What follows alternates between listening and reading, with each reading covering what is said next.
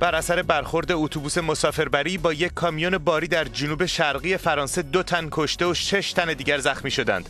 اتوبوس حامل 50 دانش آموز آلمانی 15 تا 17 ساله بوده که در سفر تفریحی عازم اسپانیا بودند.